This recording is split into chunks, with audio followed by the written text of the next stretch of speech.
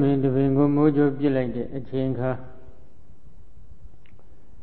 လေစစ်ပြတ်သွားပြီဆိုကြတယ်နော်လေစစ်ပြတ်သွားပြီတဲ့ဒီထမင်းဒီနောက်တပံပြန်ပြီးအသက်ရှင်အောင်မလားမရှင်တော့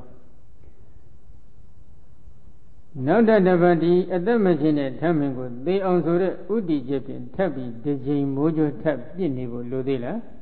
မလိုတော့ဘူးနော်ဒီပုံစံအတိုင်းပဲ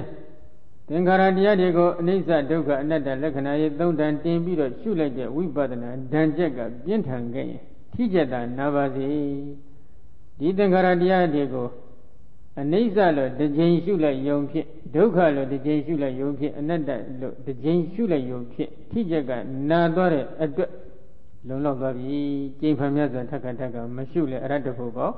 ရောက်နိုင်တယ်လို့ဆိုလိုပါတယ်နော် ဒီတော့ဒီနေရာမှာယဟန္တာမထေရမြတ်ကြီးကဘာယဟန္တာလဲလို့မရင်တော့မူလဗန္ဒတတိကပရမတေဇာမျက်နှာ368မှာသမတိတိတိဝါရသမတိတိဟုတ်တော်ဝါပိစဝခဏဝါရတအနန္တရဝါရေပရိနိဗ္ဗာယိတိအထောဒီလိုဖွင့်ထားတယ်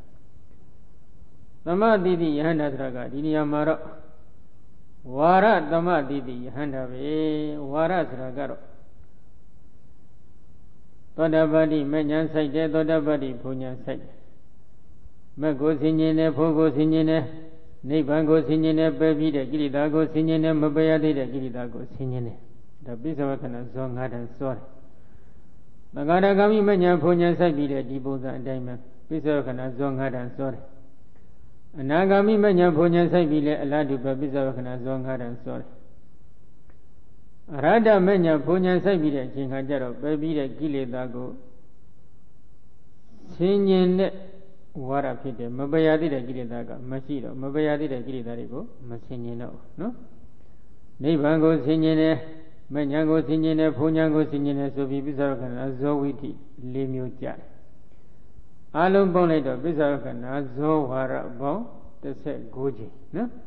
အဲ့ဒီပစ္ဆဝခဏဇောဝါရနောက်ဆုံးဇောဝါရရဲ့အချမ်းမဲ့နဲ့သုတိစိတ်ကြတယ်ပြိဋိဘံဝင်ဆံသွားတယ်ဝါရသမတိတိယဟန္တာဖြစ်သွားတော်မူတယ်နော်ဒီလိုဆိုရင်ဒီလောက်တော့ယဟန္တာဖြစ်မဲ့မထေရမြတ်ကြီးက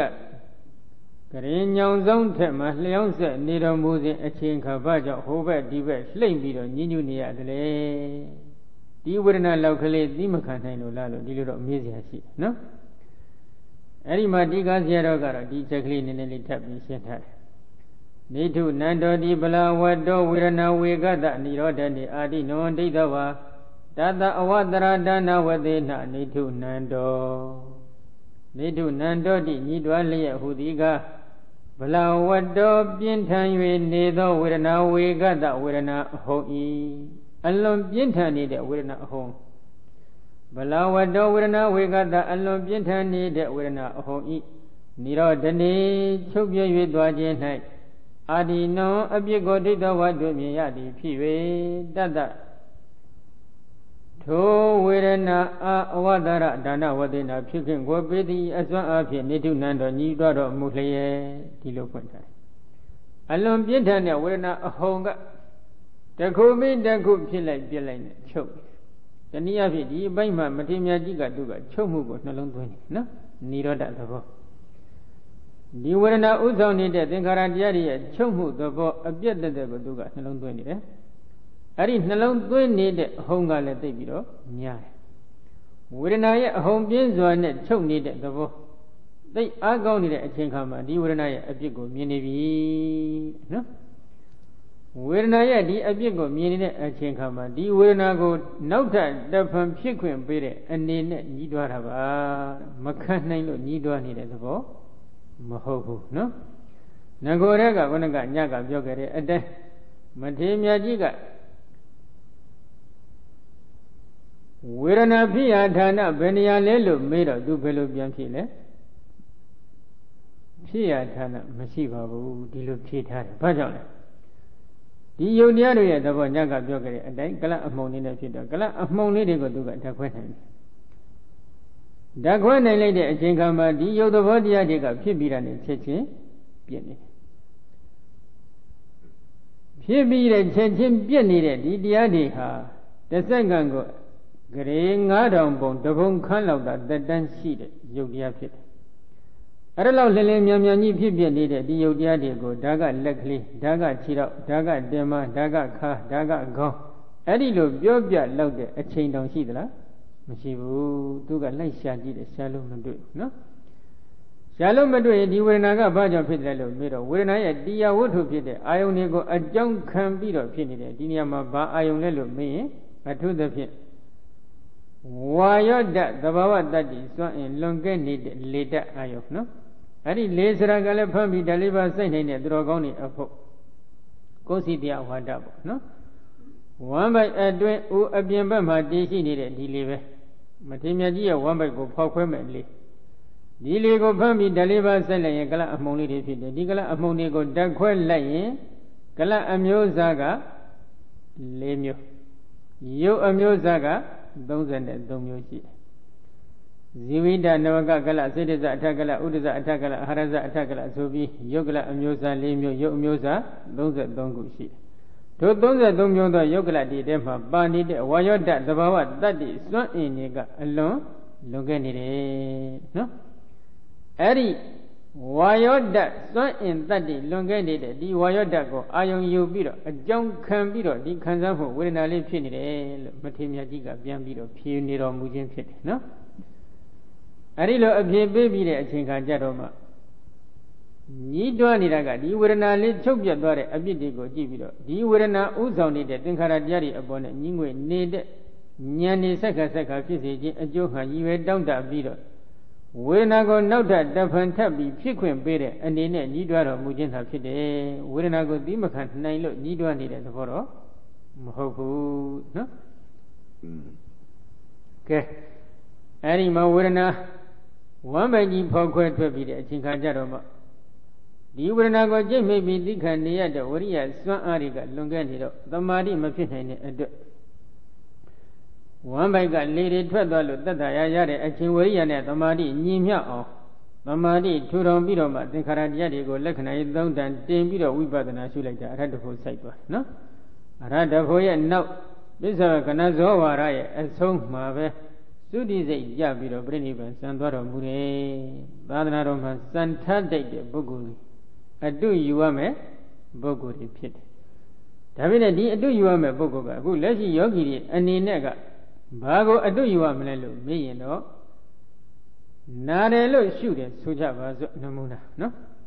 ဘယ်နေရာကနာနေပါတယ်လို့သိနေသေးရင်တော့ဒီဝေဒနာနုပါဒနာဘောင်နဲ့ဝင်မလားမဝင်သေးဘူးနော် ဒီမှာကနာနေတယ်လက်ကနာနေတယ်ခါကနာနေတယ်ဆိုရင်ဒါခဏပြုတ်မလားမပြုတ်သေးဘူးခဏခေါ်တဲ့အတုံးခဲတွေမပြုတ်သေးဘူးဒီခဏခေါ်တဲ့အတုံးခဲတွေပြုတ်ရအတွက်ဘာလုပ်ရမလဲနော်ဒီဘိုင်းလေးနည်းနည်းဆက်ပြီးနားကြည့်ကြရအောင်နော်ဣတိဘဂဝါရူပကမ္မထာနာကတိတဝအရူပကမ္မထာနာကတိတောဝေဒနာဝသေနကထေတိခုနကဒုက္ခဒုက္ခဥပ္ပခ သာမိတအနိဒာမိတသုံးမျိုးစီနဲ့ထပ်ပေါင်းလိုက်တော့ဝေဒနာ၉မျိုးဘုရားဟောပြီးပြီနော်အဲ့ဒီဝေဒနာလေးကိုဟောတဲ့အချိန်ခါမှာမြတ်စွာဘုရားဣတိဤသို့လင်ဘဂဝါမြတ်စွာဘုရားဒီရူပကမ္မထာနံယုတ်ကမ္မထာကိုကတိတဝဟောကြားပြတာဆောဆုံးမှတော်မူပြီးမှအရူပကမ္မထာနံနံကမ္မထာကိုကထင်တော်ဟောကြားပြတာဆောဆုံးမှတော်မူခဲ့သည်ရှိသော ဝေဒနာဝသေနာဝေဒနာဤအစွမ်းအဖြစ်ကထေသည်ဟောကြားပြတာတော်မူလေ၏မဟာသတိပရဏသုတ်တံဟောစဉ်လေးကိုပြန်ကြည့်ပါကာယ ानु ပါဒနာတတိပဋ္ဌာန်ကို14မျိုးသောအချင်းရာအဖြစ်ဟောကြားပြတာအစွန်းဆုံးမှတော်မူပြီးတဲ့အခါကြမှဝေဒနာနုပါဒနာတတိပဋ္ဌာန်ကိုဘုရားရှင်ဆက်လက်ပြီးဟောကြားပြတာအစွန်းဆုံးမှတော်မူခြင်းဖြစ်တယ်နော် ကာယ ानु ပါဒနာတတိပဋ္ဌာန်မှာယုတ်ကိုဥတည်ပြီးရှုပွားရတဲ့တတိပဋ္ဌာန်ဖြစ်ခြင်းကြောင့်ကာယ ानु ပါဒနာတတိပဋ္ဌာန်လုပ်ငန်းခွင်ဖြစ်ဘုရားရှင်တင်ယုတ်ကမ္မထာကိုဟောတယ်ယုတ်ကမ္မဋ္ဌာန်းကိုဥတည်ဟောကြားတော်မူပြီးတဲ့နောက်မှာနံကမ္မဋ္ဌာန်းဘက်ရောက်လာတဲ့အခါဝေဒနာ၏အစွမ်းဖြင့်ရှုပွားဘုံကိုဆက်လက်ပြီးဟောနေတော်မူခြင်းဖြစ်တယ်နော်ဒုဝိဒဟိကမ္မထာနရူပကမ္မထာနိသအရူပကမ္မထာနိသ ကမ္မထာနံဝိပဒနာကမ္မထာတိကရူပကမ္မထာနိသယုတ်ကမ္မထာ၎င်းအရူပကမ္မထာနင်းစနာကမ္မထာလကောဣတိဣတောဒုဣတံနှမျိုးနှစနှစ်ပါးအပြားရှိ၏သမထနဲ့မှာတမာတိထူထောင်တဲ့အပိုင်းကမ္မထာ40ရှိဝိပဿနာပိုင်းရောက်လာပြီဆိုရင်တော့ယုတ်ကမ္မထာနံကမ္မထာဆိုပြီးကမ္မထာဘယ်နှမျိုးရှိတယ်နှမျိုးရှိတယ် မိမိတို့ကသမထဝိပဿနာဘာဝနာတွေကိုစနစ်တကျပွားများအထောက်ချင်ကြတယ်ဆိုရင်တော့ဒီလုပ်ငန်းခွင်လေးတွေကအသေးစိတ်စနစ်တကျသိထားရမယ်လုပ်ငန်းခွင်ဖြစ်တယ်နော်မမထာဘိုင်းမှာတမာတိထူထောင်ခြင်းမှလမ်းကွဲတဲ့စိတ်ကန်းကြီး40လို့ဒီလိုစာပေထဲမှာသတ်မှတ်ချက်ရှိတယ်ဒီစိတ်ကန်းကြီး40ဘယ်စိတ်ကန်းကပဲဖြစ်ဖြစ်နိဗ္ဗာန်ဆိုတဲ့ထုံမဘကန်းကိုကူးရင်ကူးလို့ရနိုင်တယ်ဒီစကားကြည့်လိုက်တော့နိဗ္ဗာန်သွားတာလမ်း40ရှိတယ်လို့ဒီလိုထင်ကောင်းထင်လိုက် မဟုတ်ဘူးနော်သမာဓိထူထောင်တဲ့အပိုင်းဒီဟိုနေ့ကပြောခဲ့ဒီလိုပဲလမ်းတွေကအများကြီးပါနိဗ္ဗာန်သွားလို့လည်းရတယ်နိဗ္ဗာန်မသွားခြင်းမူပြမပြေသွားမယ်ဆိုလည်းမရဘူးလားရတယ်ဒိဋ္ဌဓမ္မမျက်မှောက်ပေါ်မှာချမ်းသာခြင်းလို့ဒီသမာဓိထူထောင်လည်းရတယ်နိရောဓသမဘဝင်စားခြင်းလို့ဒီသမာဓိထူထောင်လည်းရတယ်အဘိညာဉ်နဲ့အလိုရှိလို့ဒီသမာဓိထူထောင်လဲရတယ်လမ်းခွဲတွေအများကြီးရှိနော် သမာဓိထူထောင်ပြီးလို့သမာဓိဒီဂရီစံချိန်မှီလာတဲ့အချိန်အခါမှာတို့ယောဂီသူတော်ကောင်းကနိဗ္ဗာန်သွားခြင်းနဲ့ဆိုရင်တော့ဝိပဿနာကူရတော့ဝိပဿနာနေတဲ့ရောက်ပြီဆိုရင်တော့ကမ္မထံကဘယ်နှမျိုးပဲရှိတယ်လဲ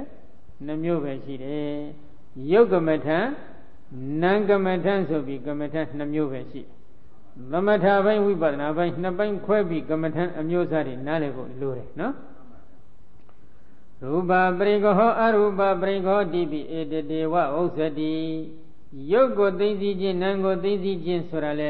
ဒီယုတ်ကမ္မထံနာမ်ကမ္မထံကိုပဲဘုရားရှင်ဟောကြားနေတော်မူခြင်းဖြစ်တယ်ဆိုလိုရင်းဖြစ်တယ်နော်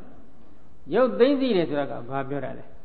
ရူပပရိခယုတ်ကိုသိသိခြင်းဆိုတာယုတ်တရားတွေကိုညာနဲ့ပိုင်းခြားယူတာကိုယုတ်သိသိတယ်လို့ခေါ်တယ်နော်နံတရားတွေကိုညာနဲ့ပိုင်းခြားပြီးယူနေတာကိုနံကိုသိသိတယ်လို့ခေါ်တယ် တထဘဂဝါရူပကမ္မထာနာကထင်တော့သင်္ခေပမနတိကာရဝတိနာဝဝိထာရမနတိကာရဝတိနာဝါသတုတတုဝဝဌာနံကထေတိတထထိုယုတ်ကမ္မထနကမ္မထနှမျိုးတို့တွင်ဘဂဝါမြတ်စွာဘုရားသည်ရူပကမ္မထာနယုတ်ကမ္မထံကိုကထင်တော်ဟောကြားပြတာအဆိုဆုံးမှတော်မူသည်ရှိသောသင်္ခေပမနတိကရဝတေနဝအကျဉ်နှလုံးသွင်းဤအစွမ်းအဖြင့်တော်၎င်း ဝိထာရမနတိကရဝတေနဝအကျဉ်နှလုံးသွင်းဤအစွမ်းအဖြင့်တော်၎င်းသတုဓာတုဝဝဋ္ဌနသတုဓာတုဝဝဋ္ဌကမ္မထံကိုကထေတိဟောကြားပြတာဆိုဆုံးမတော်မူမြဲဓမ္မတာဖြစ်ပေ၏ယုတ်ကမ္မထံနံကမ္မထံလို့ဝိပဿနာဘိုင်းမှာကမ္မထနှစ်မျိုးရှိသည့်အ ਨੇ က ယုတ်ကမ္မထကိုမြတ်စွာဘုရားဟောပြီဆိုရင်အကျဉ်းနှလုံးသွင်းဤအစွမ်းဖြင့်တော်လကောအကျဉ်းနှလုံးသွင်းဤအစွမ်းအဖြင့်တော်လကောသတုဓာတုဝဝထံအမိယနေတဲ့ဓကမထံကိုဟောကြားပြတာအဆိုဆုံးမှတော်မူမြဲဓမ္မတာဖြစ်ပါတယ်ဒီတော့ဒကာကြီးတွေဒီစကားရက်ကလေးကိုကြည်စမ်းကြည့်တာနော်ယုတ်တရားတွေကိုရှုပုံနည်းစနစ်နဲ့ပတ်သက်ရင်ဘုရားရှင်ဒီဘယ်နှနည်းဟောတယ်လဲနှစ်နည်းဟောတယ် ဓကမထံအကျဉ်းနည်းဓကမထံအကျဉ်းနည်းဒီတော့မိမိတို့ကယုတ်လည်းရှုမယ်ဓာတ်ကိုလည်းဘေးဖယ်ထားတယ်တနည်းအားဖြင့်ဓာတ်ကိုလည်းမရှုဘူးဘုရားဟောနေတဲ့ယုတ်သိနိုင်ပါမလားမသိနိုင်ဘူးဘုရားဟောနေတဲ့ယုတ်ကိုမိမိကဓာတ်ကိုပြည်တယ်ပြီးရှုတာမဟုတ်တဲ့အတွက်မသိတော့ဘာပြောလဲအာဒီယုတ်ကလနံကလဒီ ဓာတ်ခွဲနိုင်တဲ့ယုတ်ကလနံကလရှုလို့ရတယ်ယုတ်ကလနံကလဓာတ်ခွဲလို့ရတယ်ဆိုတာဒါတပ်ပိညတညာအရာပါတာဝကတွေနဲ့မဆိုင်ပါဘူးအဲ့ဒါတော့ဒီစကားပြောရင်တော့နည်းနည်းတော်သေးတယ်ရှစ်တဆင့်တက်ပြီးတချို့ကပြောသေးတယ်ဘာပြောလဲယူသွားလိမ့်မယ်နော်ရမ်းပြီးတော့တော့မလုပ်နဲ့ဟောဖြစ်ပုံကဖြစ်ပုံကနော်အမှားကြရင်တော့ဘာဖြစ်သွားလဲအမှန်ဖြစ်သွားတတ်တယ်နော် သရဝတယောက်ယူမမောက်ကိုသိမ့်လောက်ဖရာချွတ်တော်ညားလိအမှားတွေစွတ်ဖြေမလို့ဘူးတဲ့နော်တရားဝါတယောက်အယူဖောက်ပြန်မှန်းယွန်းသွားပြီဆိုရင်ဒီအယူကိုမစွန့်မဲ့နဲ့စွဲခဲ့မယ်ဆိုရင်ပေါ့သိမ့်နဲ့ချီပြီးကြွချီတော်မူတဲ့ဘုရားရှင်ကြီးချွတ်ခြင်းနဲ့ချွတ်ပါသည်မကျွတ်ဖဲဖြစ်ပြီးနေတတ်တယ်ဒါသိကြောက်ဖို့ကောင်းတယ်နော် ဥဒ္ဒနောဒီသာသနာတော်မှာကဘုရားဟောဒေသနာတော်ကိုလက်ခံနိုင်တဲ့စွမ်းအားရှိမရှိဒါမိမိကိုယ်ကိုမိမိနှိမ့်ချိန်တတ်ဖို့တော့လိုတယ်အာဒါတကယ်ထေကြီးဝါကြီးသတော်ကြီးတွေပြောနေတဲ့စကားပဲဒီလိုမိမိတို့ရဲ့ဆရာသမားအပေါ်နဲ့စွဲတဲ့စိတ်ကိုတော့ယာယီခိတ္တခဏတော့ဖြောက်ပယ်ထားဖို့လိုတယ်ဆရာသမားတို့အနေနဲ့မယိုတရားဘူးပြောတာမဟုတ်ဘူးနော် ယိုသေးသေးယိုသေးတိုက်လေးစားတဲ့လေးစားတိုက်တဲ့ဆရာသမားတွေကိုယိုသေးသေးနဲ့အချက်လေးစားတဲ့နဲ့အချက်ဒီမှာယိုသေးပါလေးစားပါခုပြောနေတာကဘုရားဟောဒေသနာတော်နဲ့အဝင်ခွင်ကြမဖြစ်တဲ့အဆိုးအဆုံးမှဖြစ်နေကြရင်စဉ်းစားဖို့ပြောတာပါနော်ဒီတော့ဘုရားရှင်ကယုတ်ကမထံရှုခွင့်နဲ့ပတ်သက်ရင်ဓကမထအကျဉ်းဤဓကမထအကျဉ်းဤဆိုပြီးနှစ်နည်းဟောထားတော့ မိမိတို့ကလည်းဘုရားရှင်ဟောကြားတော်မူတဲ့ယုတ်တရားတွေကိုရှုကျင်တယ်ဆိုရင်ဓကမထအကျဉ်းဤကြရင်ဓကမထအကျဉ်းဤကိုကင်ပြီးရှုဖို့ဓကမထအကျဉ်းဤကြရင်ဓကမထအကျဉ်းဤကိုကင်ပြီးရှုဖို့ပဲလိုတယ်အဲဒီလိုရှုမှလည်းဘုရားဟောတဲ့ယုတ်ဆိုတာသိနိုင်ပါတယ်နော်ဦးဇင်းခဏခဏပြောသလိုပေါ့ဟိုးရှစ်ခေတုန်းကသတင်းစာတွေထဲမှာကြော်ညာလေးတစ်ခုပါတယ် ဆေးဝယ်ရင်ဒီစုစားမှစိတ်ချရတယ်ဟောဟုတ်လားတခါကြီးဟမ်ကိုလည်းဒီတိုင်းပဲဝိပဿနာဘာဝနာကမ္မထစီးပြန်ခြင်းနဲ့ဆိုရင်တော့ဘုရားဟောအတိုင်းကျင့်ခြင်းဒီစိတ်မချရဘူးလားစိတ်ချရတယ်နော်ဘုရားဟောနဲ့အဝင်ခွင်ကြမဟုတ်ရင်တော့မိမိတို့အတွက်ဘုရားဟောတဲ့နိဗ္ဗာန်ရရေးဟာကျင့်တည်ဖို့တော့သိပြီမလွယ်လှဘူးဘာဖြစ်လို့လဲ ဘုရားရှင်ဒီသဗ္ဗညုတဉာဏ်တော်မြတ်ဖြင့်နိဗ္ဗာန်ရရရကြောင်းလမ်းကောင်းတွေကိုကိုယ်ကိုယ်တိုင်ထွန်းဖော်သိပြီးတဲ့အခါဟောကြားထားတဲ့တရားဖြစ်တယ်နော်အဲ့ဒီတရားအပေါ်နဲ့မိမိတို့ကယုံကြည်ချက်စွမ်းအားတရားတရားတွေအပြည့်အဝရှိနေဖို့တော့လိုတယ်ဣန္ဒြေ၅ဌာန်နဲ့မှဒီတရားတစ်ခုပါပါတယ်နိဗ္ဗာန်သွားရလမ်းကြောင်းဘောကိုဖြောင်းဖြောင်းလျှောက်သွားနေတဲ့အပိုင်းမှာမိမိရဲ့စိတ်အစဉ်ကိုဒီလမ်းကြောင်းဘောကနေဘေးချော်ကြမသွားအောင်ထိမ့်ကွက်ထားနိုင်တဲ့ စွမ်းအားသည်အိန္ဒြေလို့ခေါ်တယ်။အဲဒီဒီအိန္ဒြေ၅ပါးထဲမှာဒီယုံကြည်ချက်တရားတရားတစ်ခုလည်းပါနေတယ်။ဒါတတိရှိဖို့သိလို့တယ်နော်။ကဲကောင်းပြီ။ယုတ်ကမထံရှုွက်ကိုဘုရားရှင်ကဓကမထံအကျဉ်းဤသို့မဟုတ်ဓကမထံအကျဉ်းဤတနည်းနည်းနဲ့ဟောတယ်ဟောလိုက်တဲ့အချိန်ခါကျတော့ယောဂီသူတော်ကောင်းကယုတ်တရားတွေကိုရှုတဲ့အပိုင်းမှာတက္ကမထအကျဉ်းဤကြက်ရင်လည်းအကျဉ်းဤနဲ့ရှုနိုင်တယ် အကျဉ်းဤကြက်ရင်လည်းအကျဉ်းဤနဲ့ရှုနိုင်ပါတယ်အကျဉ်းဤအကျဉ်းဤနှစ်နည်းလုံးနှစ်ချိုက်တယ်ဆိုရင်လည်းနှစ်နည်းလုံးကိုရှုလို့မရဘူးလားရပါတယ်ဟိုးဂိန္တုကောပမအတုတ်တံဆိုတဲ့အတုတ်တံတစ်ခုရှိတယ်ထိုတုတ်တံမှာမဟာဗုဒ္ဓကမ္မထာနိကခေါ်တဲ့မဟာဗုဒ္ဓကြီးလေးပါးကမ္မထံကိုဆောင်းတော်မူတဲ့ယဟန္တာမထေမြတ်ကြီးတစ်ပါးရထုံလှရှိပါတယ်။ထိုယဟန္တာမထေမြတ်ကြီးကတက္ကမထံအကျဉ်းဤတက္ကမထံအကျဉ်းဤနှစ်နည်းလုံးဖြင့် ဝိပဿနာဘာဝနာကမ္မထံကိုစီးပြန်တော်မူတယ်လို့ဒီလိုအထက်ကရာကအတိအကျဖွင့်ထားတယ်နော်။ကဲကောင်းပြီ။ဒီတော့မိမိတို့ကဓကမထံကိုဥတည်ပြီးတော့ရုပ်တွေကိုသိသိပြီးတဲ့အချိန်အခါမှာရှစ်တစ်ဆင့်တက်ပြီးတော့လုပ်ငန်းခွင်တစ်ခုတော့လုပ်ရတော့ဘယ်လိုတစ်ဆင့်တက်ပြီးလုပ်ရမလဲဘာကြောင့်လုပ်ရမလဲအကြောင်းရှိနော်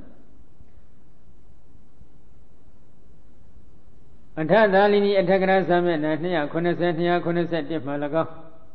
ဝိသုဒ္ဓိမေအထကရာဒုတိယအတွက်သမျက်နှာ300 301စသည်မှာ၎င်းဝုဋ္ဌာဏဂามိနေဝိပဿနာလို့ခေါ်ဆိုအပ်တဲ့ဝိပဿနာအမျိုးမျိုးတွေကိုဖွင့်ဆိုထားပါတယ်ဗုဒ္ဓနာဂ ामि နိဝိပဿနာဆိုတာကတော့သင်္ခါရတရားတို့မှာထမြောက်ပြီးတော့သင်္ခါရတရားတို့ရဲ့လွတ်ရဖြစ်တဲ့ကျွတ်ရဖြစ်တဲ့နိဗ္ဗာန်ဘက်ကိုတဟုန်တော်ပြည့်သွားနေတဲ့ မေဃဝိတိစိတ်အစဉ်နဲ့ထိုမေဃဝိတိစိတ်အစဉ်ရဲ့ရှင်နာမကတ်လျက်ရှိတဲ့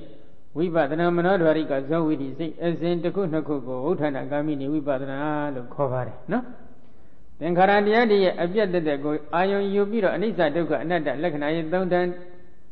တလှည့်စီတင်ပြီးရှုပွားသုံးတနေရာကသင်္ခါရတရားတို့ရဲ့အကျွရလွတ်ရဘက်တို့စိတ်အစဉ်ကတဟုန်တို့ထပြီးပြေးသွားတယ်နော် အဲ့ဒီပြည့်သွားနေတဲ့စိတ်အစဉ်တွေကိုဥဋ္ဌာဏဂ ामि နိဝိပဿနာလို့ခေါ်တယ်အဲ့ဒီဥဋ္ဌာဏဂ ामि နိဝိပဿနာအမျိုးမျိုးတွေကိုဖွင့်ပြတဲ့အပိုင်းမှာဒကာကြီးတွေဒကမကြီးတွေအတွက်ယောဂီသူတော်ကောင်းတွေအတွက်အရေးအကြီးဆုံးအချက်တွေအဲ့ဒီထဲမှာပါနေတယ်နော်ဒီနေရာနဲ့သက်ဆိုင်နေတဲ့အချက်တစ်ခုကတော့ဘာလဲ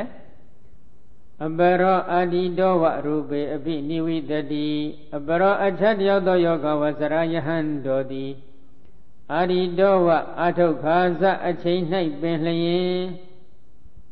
ရူပေယုတ်ကမထ၌အပိနိဝေတတိစရွယ်နှလုံးသွင်းရှုပွား၏အပိနိဝိတနှလုံးသွင်းတယ်ဆိုတာကဝိပဿနာဉာဏ်ဤအရှုကအာယုံဖြစ်တဲ့ယုတ်တဲ့နန္ဒီကို သိသိတဲ့အကြောင်းတရားအကျိုးတရားတွေကိုသိသိတယ်အဲ့ဒီလိုသိသိနေတဲ့လုပ်ငန်းခွင်ကိုအပိနိဝိတာလို့ဒီလိုသုံးထားတယ်နော်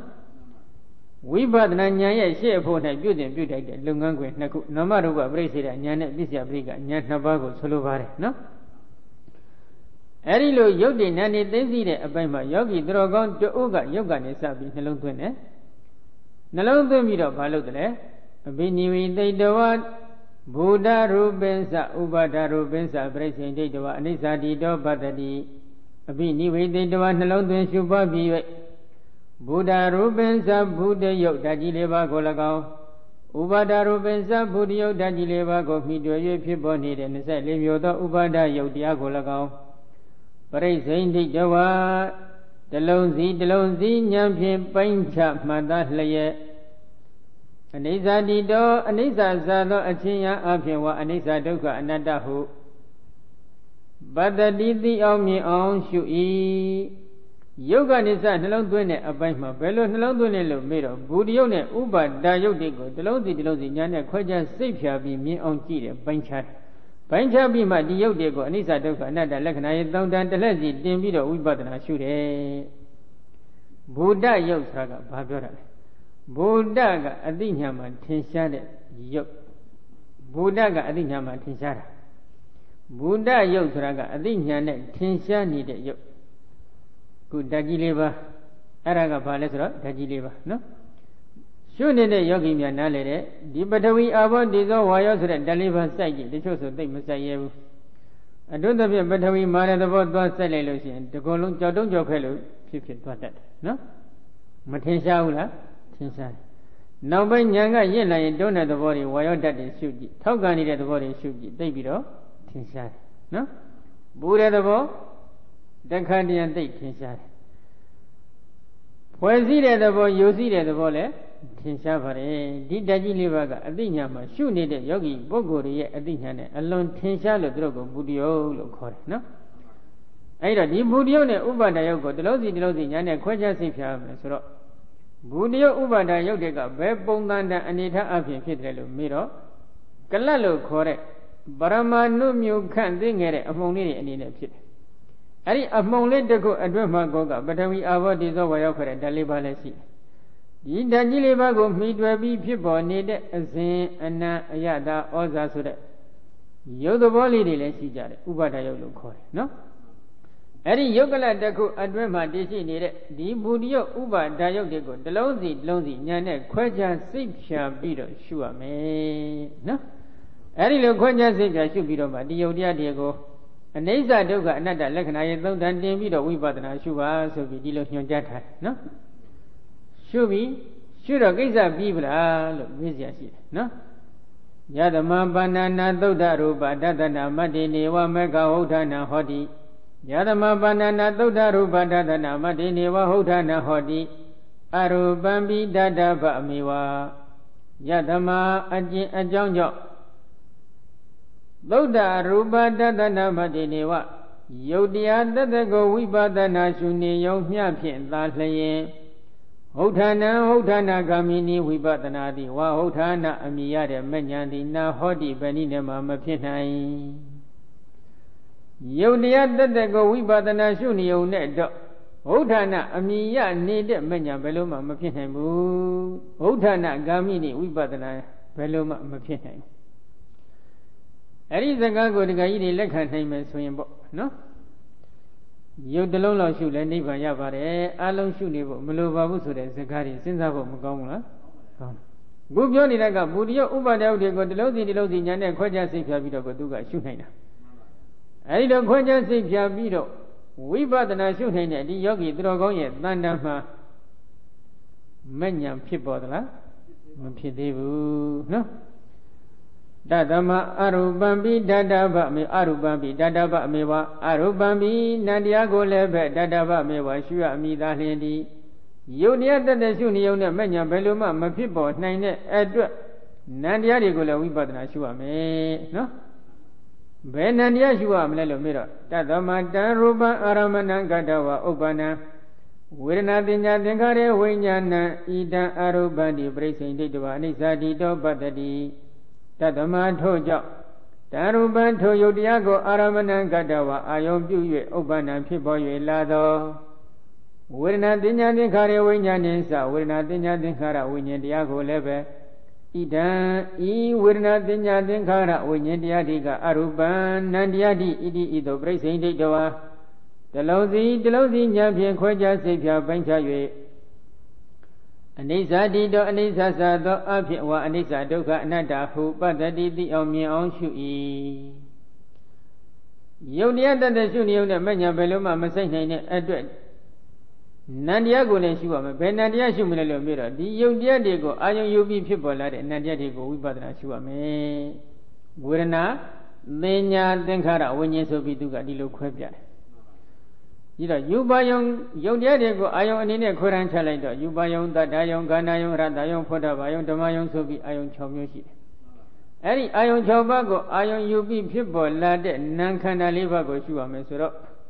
ပိဿဒေါရဝဇ္ဇမခန္ဓာ၅ပါး ရုပ်ရူပခန္ဓာနဲ့ပေါင်းလိုက်နော်သကုဝိညာဉ်မှာခန္ဓာ၅ပါးတမ္ပရိဆိုင်မှာခန္ဓာ၅ပါးတန်တိရဏမှာခန္ဓာ၅ပါးဥထောမှာခန္ဓာ၅ပါးဇောရီမှာခန္ဓာ၅ပါးတရားယုံမှာခန္ဓာ၅ပါးအတိအတိပဲနော်အဲ့ဒီစိတ်တဲ့ခန္ဓာအတိုင်းမှာခန္ဓာ၅ပါးခန္ဓာ၅ပါးဒီကိုညံ့တဲ့ပိုင်းခြားယူပြီးတော့ဝိပဿနာရှုရမယ်လို့ဆိုလိုရင်းဖြစ်ပါတယ်နော်အဲ့တော့ဒီအဆုံးဖြတ်အရာကြည့်မယ်ဆိုရင်တော့ ရုပ်တတ်တဲ့ရှုနေုံနဲ့လည်းမညာဘယ်လို့မှမဆိုင်နိုင်ဘူးနာမ်တတ်တဲ့ကိုဝိပဿနာရှုနေုံနဲ့လည်းမညာဘယ်လို့မှမဆိုင်နိုင်ဘူးဒါကြောင့်ရုပ်ကောနာမ်ကောနှစ်မျိုးလုံးကိုတော့ဝိပဿနာရှုရမယ်လို့ဒီလိုမှတ်ရနော်ဒါကြောင့်ခုဒီနေရာမှာလဲမိမိကဓကမထအကျဉ်းဤသို့မဟုတ်ဓကမထအကျဉ်းဤသို့မဟုတ်နှစ်နည်းလုံးဖြင့်ယုတ်တရားတွေကိုညာနဲ့ပိုင်းခြားယူပြီးသိသိပြီးတဲ့အချိန်အခါမှာထိုယောဂီသူတော်ကောင်းကရှစ်တဆင့်တက်ပြီးဘာလုပ်ငန်းခွင်လုပ်ရမလဲနန္တရားတွေကိုသိသိတဲ့လုပ်ငန်းခွင်ကို ဆက်လက်ကြိုးစားရမယ်။ဘာဖြစ်လို့လဲ။ယုတ်တရားတတဲ့ကိုဝိပဿနာရှုနေုံနဲ့မညံကဘယ်လိုမှမဆိုင်နိုင်တဲ့အတွက်နန္တရားတွေကိုဆက်လက်ပြီးရှုရမှာဖြစ်တယ်နော်။ကဲရှုပြီးရှုတော့ဘယ်လိုရှုလဲဘယ်လိုဟောလဲဘုရားကအရုပကမ္မထာနံဗန္ဒကထေတောယေပုံယေနဝေဒနာဝတေနကထေတိအရူပကမ္မထာနံအရူပကမ္မထာနံကမ္မထံကိုကထေတောဟောကြားပြတာဆိုဆုံးမတော်မူခဲ့သည်ရှိသော ရေပုံရေနမြတ်သောအဖြစ်ဝေဒနာဝတေနာဝေဒနာဤအစွမ်းဖြင့်ကထေတိဟောကြားပြတာဆိုဆုံးမတော်မူမြတ်ဓမ္မတာဖြစ်ပေ၏ရေပုံရမြတ်သောအဖြစ်တော့ဝေဒနာကစဟောတယ်ဘာကြောင့်လဲဝေဒနာထင်ရှားလို့နော်အဲ့တော့နံကမထံကိုဟောတဲ့အပိုင်းမှာဝေဒနာကနေစပြီးတော့ရေပုံရအဖြစ်တော့ဟောတယ်ဆိုတော့နံကမထံမှာရှုွက်ကယုတ်ကမထံမှာဓကမထံအကျဉ်းဤအကျဉ်းဤနှစ်နည်းရှိတယ်လို့နံကမထံမှာလည်း ရှုပတ်သိသိပုံဘယ်နှနည်းရှိတယ်လို့ဒီလိုမေးเสียဖြစ်ပေါ်လာတယ်နော်ဒါကြောင့်ဒီနေရာမှာအထက်ကရာဆရာတော်ကဗတ်ဆက်ပြီးဖွင့်လဲဣဝိဒောဟိအရုပကမ္မထာနိအပိနိဝေသောဖတ်တဝတေနဝရဏဝတေနစိတ်တဝတေနာတိအရုပကမ္မထာနိနံကမ္မထာ၌အပိနိဝေသောနှလုံးသွင်းရှုပွားခြင်းဒီကဖတ်တဝတေနဖတ်တဤအစွမ်းဖြင့်ဝေဒနာဝတေနဝေဒနာဤအစွမ်းဖြင့်စိတ်တဝတေနအတိစိတ်ဝိညာဉ်အစွမ်းဖြင့် ဣတိဣသောလင်တိဝိတော်သုံးမျိုးသုံးစားသုံးပါအပြာရှိ၏နံကမတန်ကိုစတဲ့နှလုံးသွင်းတဲ့လုပ်ငန်းခွင်သုံးမျိုးရှိတယ်ဖတ်တာကစသိသိတဲ့နည်းဝေဒနာကစသိသိတဲ့နည်းအသိစိတ်ဝိညာဉ်ကစသိသိတဲ့နည်းဆိုပြီးနံကမထံသိသိနည်းဘယ်နှနည်းရှိလဲသုံးနည်းနံကမထံရှုနည်းဘယ်နှနည်းရှိလဲသုံးနည်းရှိယုတ်ကမထံရှုနည်းကနှစ်နည်း ဓကမထအကျဉ်းဤဓကမထအကျဉ်းဤနံကမထသိသိနိရှုနိကဘယ်နှနည်းလဲသုံးနည်းဖန္တာကစသိသိတဲ့နိကတခုဝေဒနာကစသိသိတဲ့နိကတခုအသိစိတ်ဝိညာဉ်ကစသိသိတဲ့နိကတခုဒါကဥစဉ်တို့မိမိတို့ရုပ်ရှုမယ်ဘာကနေစရှုရမလဲဘယ်လိုရှုရမလဲ နာရှုမယ်ဘာကစရှုရမလဲဘယ်လိုရှုရမလဲဒါတွေဟာအမတန်အရေးကြီးတဲ့မိဂုဏ်တွေမဖြစ်တင်ဘူးလားဖြစ်တယ်နော်အဲ့ဒီမိဂုဏ်တွေကိုကိုကတစင်ပြီးတစင်ဖြေးနေတာဒီအထက်ကရာဆရာတော်များကနော်ကဲဘယ်လိုဖြစ်တယ်လဲဧကိသတ္တဟိတံခိတေနဝဝိထာရိနဝပရိခိတေရူပကမ္မထာနိတတမိအာရမဏိစိတ်ဓာစိတ္တေသိကနာပထမဘိနိဗ္ဗာတောတံအာရမဏဖုတံတောဥပိ္ပဇမနောဖသောပကတောဟောတိ ဤချက်၍ဆိုဥအဧကိသတ္တအချို့သောယောဂဝဆရာပုဂ္ဂိုလ်ရဲ့တဏ္ဍာ၌သံဂိတိနဝအကျဉ်ဤအဖြစ်တော်၎င်းဝိထာရိနဝအကျဉ်ဤအဖြစ်တော်၎င်းပရိဂိတေရူပကမ္မထာနေယုတ်ကမ္မထာကိုဉာဏ်ဖြင့်ပိုင်းခြားယူ၍ပြီးလတ်တော်ဝါသိစီပြီးလတ်တော်တချို့တချို့ပုဂ္ဂိုလ်တွေနံကမ္မထာကုတော့မယ်နံကမ္မထာကုတော့မယ်ပုဂ္ဂိုလ်သည်ဘယ်လိုဖြစ်ရမလဲလို့မေးတော့ ပရိဂိတေရူပကမ္မထာနေယုတ်ကမ္မထာကိုဒိဋ္ဌိနေရူပကမ္မထာနေယုတ်ကမ္မထာကိုသိသိပြီးလက်တော်လို့ဒီလိုပြောထားတယ်နော်ဒီစကားရပ်ကိုကြည့်ရင်တော့နံကမ္မထာသိသိတော့မယ်ပုဂ္ဂိုလ်ဒီယုတ်ကမ္မထာကိုသိသိပြီးဖြစ်ရတော့မယ်ဆိုတဲ့အဓိပ္ပာယ်ထွက်နေတယ်နော်ဘယ်ပုဂ္ဂိုလ်အတွက်လဲလို့မေးတော့ဒီချက်နဲ့ပတ်သက်ပြီးတော့ မူလဘာနာတဒီကာသမျက်နှာ369မှာဒီကာဆရာတော်ကရှင်းထားတယ်နော်ပရိကိတေရူပကမထာနေတိဣဒရူပမုခေနဝိပဒနာဘိနိဝေတံတန္တာယဝုဒ္ဒံအရူပမုခေနပါဏဝိပဒနာဘိနိဝေသောယေဘုံယေနသမထာယာနိကတအိသိတာဘောသောဇပတမံဇဏင်္ဂာနိပရိကေတောဝတတောပရံတေတဓမေပရိကနာတိဘာပြောလဲ ပရိကိတေရူပကမထာနေတိဣဒံယုတ်ကမထာကိုသိကြည့်ပြီးလတ်သောဟုသောဤစကားရကို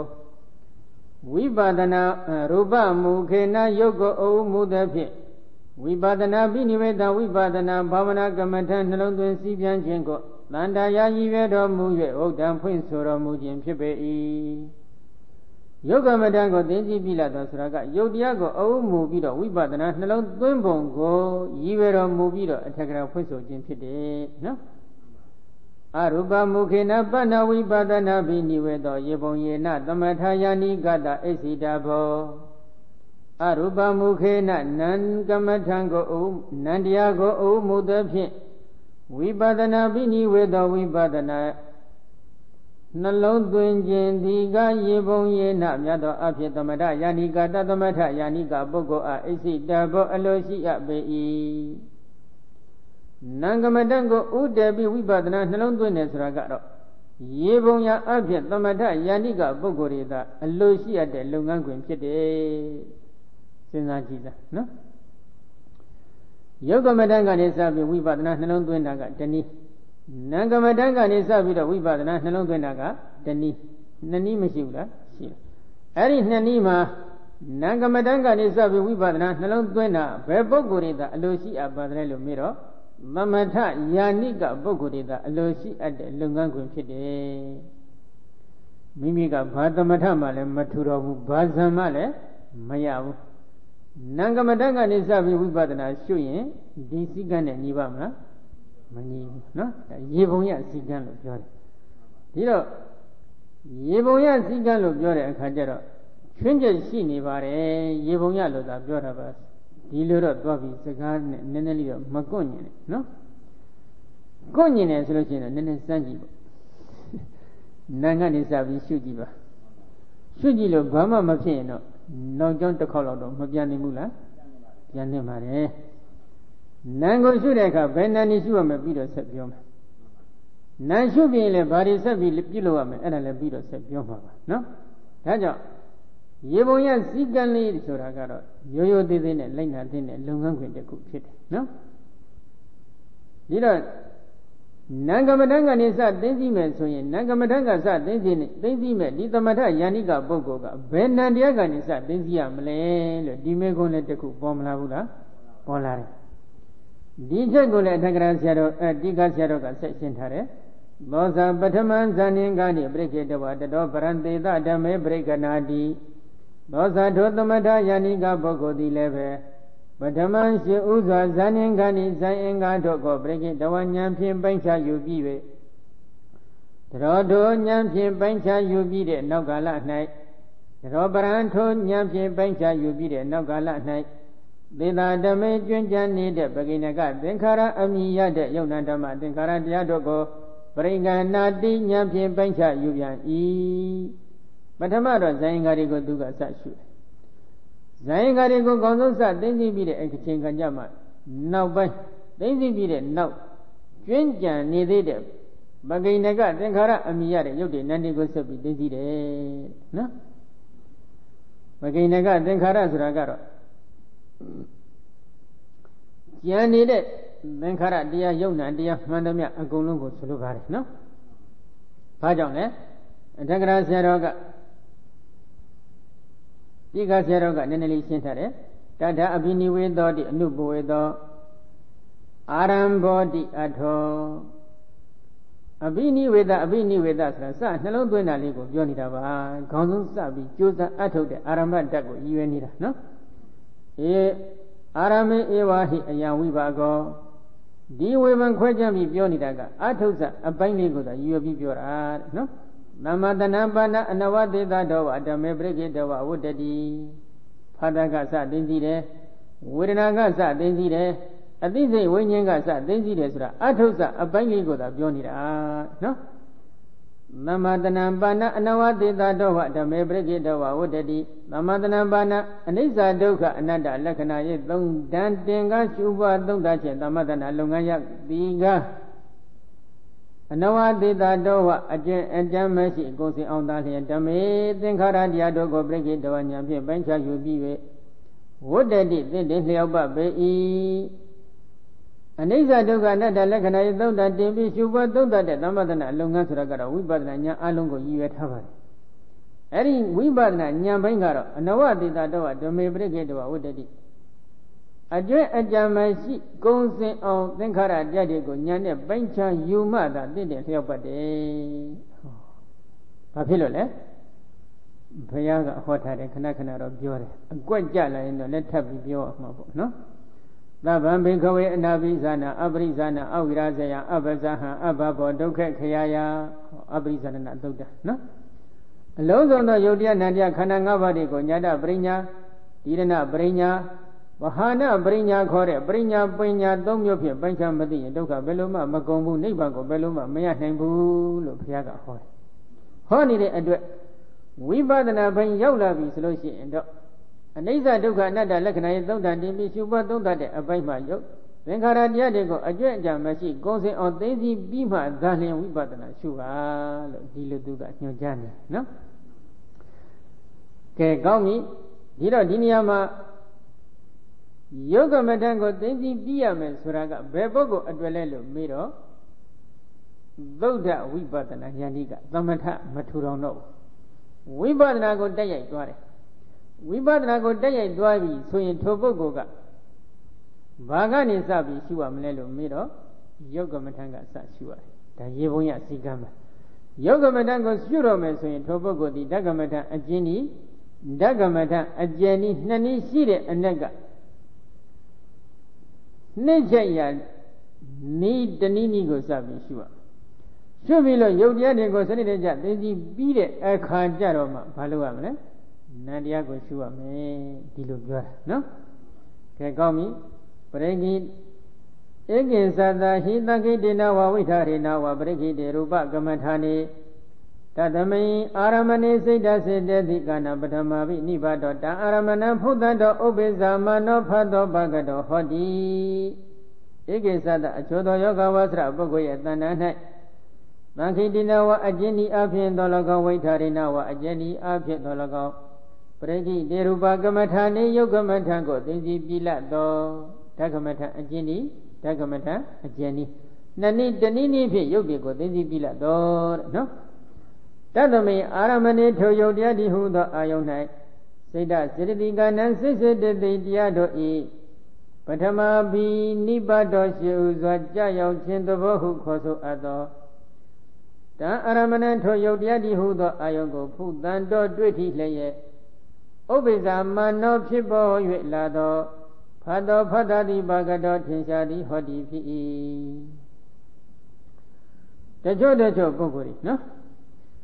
အကျဉ်းနည်းနဲ့ပဲဖြစ်စေအကျဉ်းနည်းနဲ့ပဲဖြစ်စေယုတ်တရားတွေကိုသိသိပြီးပြီအဲဒီလိုသိသိပြီးတဲ့ပုဂ္ဂိုလ်ရဲ့တဏ္ဍာမှာဒီယုတ်တရားတွေကိုအာယုံယူပြီးတော့စိတ်စတသိက်တရားတွေကဖြစ်တယ်အဲဒီဖြစ်ပေါ်လာတဲ့ဒီစိတ်စတသိက်တရားတွေထဲမှာ